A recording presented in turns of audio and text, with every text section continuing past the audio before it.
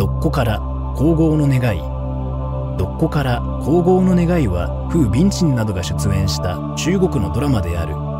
乱世の南北朝時代武将独孤神が独孤天下という予言を受ける。独孤神には3人の娘がおり長女は予言を実現させるため皇后になるべく国衆の皇室に嫁ぐが難産のため亡くなってしまう。次女は権力と金に執着し東国公に嫁いでしまう。三女は賢く政略結婚で陽賢と夫婦になる。